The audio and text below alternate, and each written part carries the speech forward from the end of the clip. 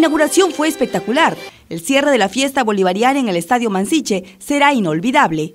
El director general de los Juegos Bolivarianos sede Trujillo, José Luis Castañola, confirmó que alistan una gran ceremonia de clausura, la misma que iniciará a las 7 de la noche y para la cual se espera que el público asista con un polo o blusa de color blanco.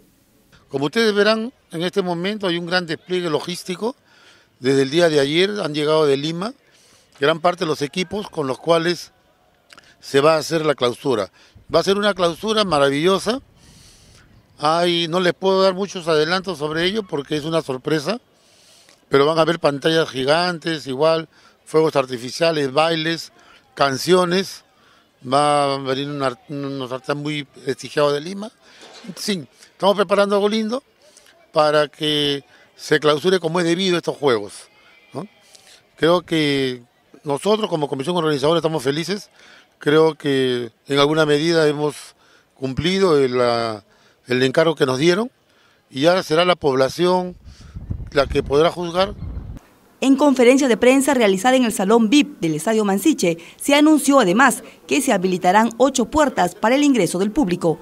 El comandante Rafael Ríos Cárdenas señaló que la seguridad está garantizada tras la presencia de 350 policías. Asimismo, se contará con un centro de monitoreo de cámaras tanto dentro como fuera del Estadio Mansiche. Está empezando el el evento según la información de nuestro director. Las entradas totalmente gratis, totalmente gratis. Pedimos a nuestro público que acuda con anticipación para evitar aglomeraciones, solamente presentando su DNI, el respectivo registro de ley de nuestra policía. La clausura va a ser a las 7 de la noche, en punto.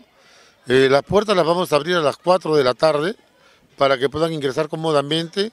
Eh, van a, a ingresar con DNI las entradas son totalmente gratuitas, vengan temprano para que puedan tomar sus asientos.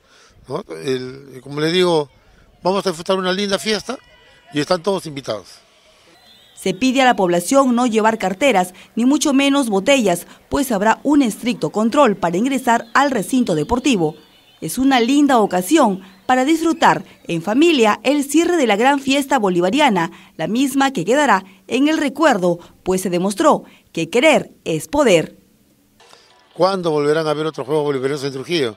100 años, 150 años, no sabemos. Pero lo cierto es que hemos vivido la fiesta, hemos disfrutado la fiesta.